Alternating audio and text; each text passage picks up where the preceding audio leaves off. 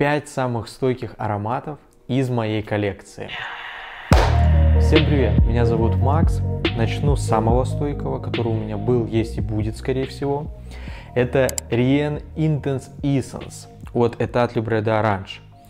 Могу в очередной раз рассказать историю, как я выбросил стул, когда этот аромат попал на вот этот обычный деревянный стул из Икеи.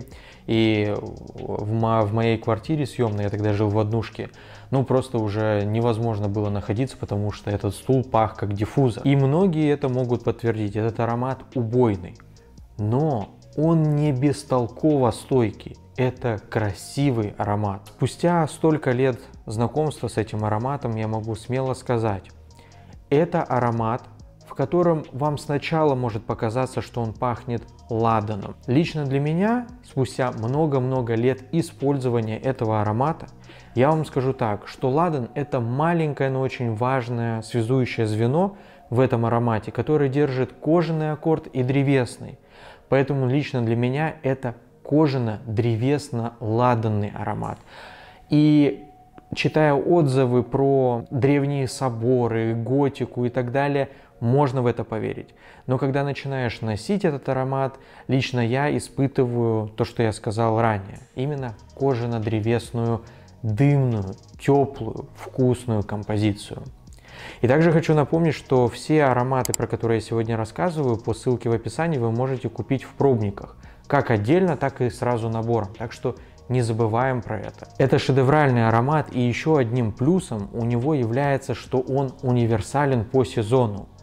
Несмотря на всю свою интенсивность, как и заявлено в названии, его легко, легко можно использовать летом, зимой, весной, осенью и когда вам угодно, утром, вечером, хоть в офис. Но он действительно интенсивным, так что нужно не перебарщивать и не советую использовать его на одежду. Вы вряд ли ее отмоете, отстираете. Может быть у вас получится. Но, знаете, можно еще взять хороший качественный блотер, брызнуть, и дома у вас будет пахнуть этот блотер как диффузор. Это я вам обещаю. Вторым ароматом у меня идет запах богатства. Реально запах богача. Этот аромат подойдет и мужчинам, и женщинам. В принципе, как и все сегодняшние ароматы, они просто потому что шедевральные.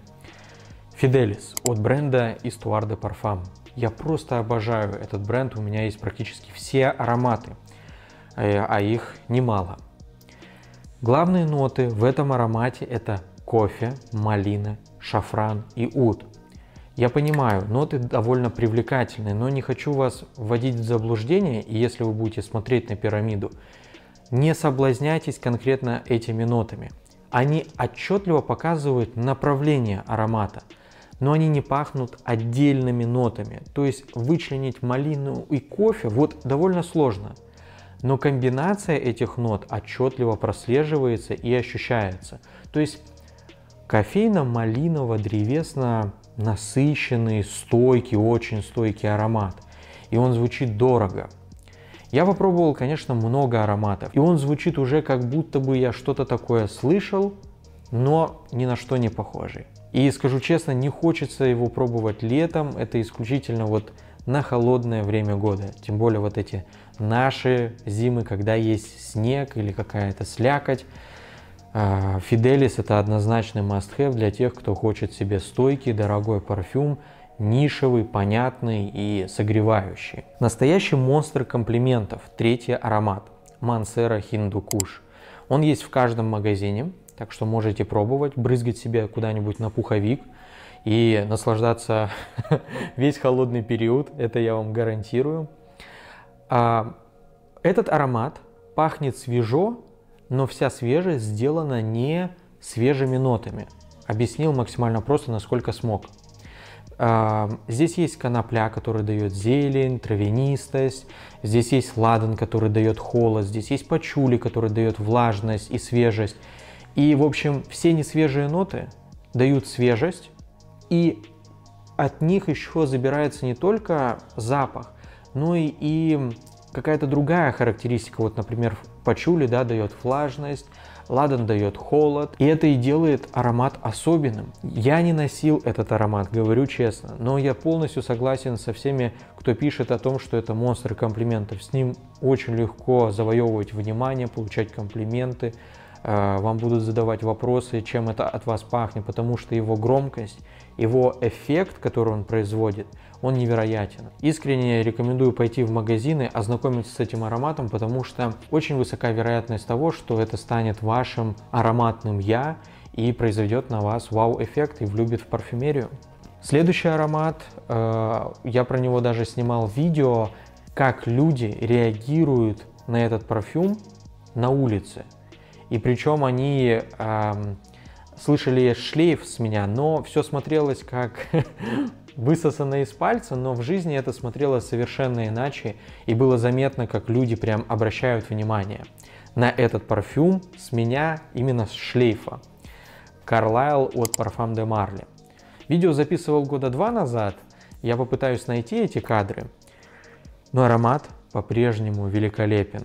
А, он похож, конечно, на Mancera Red Tobacco, но вы также можете его попробовать, если пойдете вот за этим ароматом. Такой красный флакончик и вот этот попробуйте. А Carlisle от Parfum de Marly, ну, эм, если мы говорим про стойкость, шлейф, громкость, я просто не могу не упомянуть этот аромат. Он пахнет таким вишневым табаком, но табак не совсем, а, когда вы открываете пачку сигарет, он не сухой. И не хочу говорить кальянный, хотя Парфам де Марли любит использовать такой более кальянный табак. И я ощущаю на себе этот аромат, как вишня превращается в вишневую косточку, а потом в яблочную косточку. Именно такой эффект я ощущаю, то есть появляется некая горечь. Может быть это какие-то вот спецевые ноты, которые там присутствуют, но все же это вот такая вишневая косточка, яблочная косточка и влажный красный вишневый табак. Э, этот аромат стоит попробовать. И еще хочу пред, предостеречь, если вы не любите слегка химические ароматы, он может вам не понравиться. Но попробовать стоит, и знаете, какого-нибудь пробника вам хватит вы как надолго. И рекомендую его применять на кожу, как и э, этот Либреда Оранж, потому что его очень сложно смывать с одежды, особенно если мы говорим про какие-то куртки, которые редко стираем и на холодное время года Carlisle. Последний аромат, который, скорее всего, понравится большинству мужчин, хотя на девушках он будет просто превосходен. И причина, по которой он понравится большинству, он похож на черного афганца. Это Лоран Мацони Black Oud. Они, правда, похожи как близнецы, но близнецы, они хоть и похожи, но как люди они разные. И если черный афганец – это такой бунтарь, рок-н-ролльщик, то это такой гангстер, знаете, который одет с иголочки в хороший костюм. И а, если вы не знаете направления таких ароматов, это дымный маслянистый гашиш с удом и кофе. То есть такой очень объемный аромат. И еще, когда я ношу этот аромат, в отличие от афганца, я э, чувствую именно, так скажем, широту э, объема, который входит в мои носовые полости. А у афганца я чувствую как будто бы глубину в композиции. Не знаю, но я ощущаю именно вот таким образом. И, как я сказал, этот более причесанный, более элегантный аромат. Но также вы можете посмотреть Black Afghan. Тут на флаконе написано «экстракт парфюма». И здесь ни слова лжи. С характеристиками у этого парфюма не будет никаких проблем, а с запахом тем более. Мне будет очень приятно, если вы нажмете на кнопку лайк.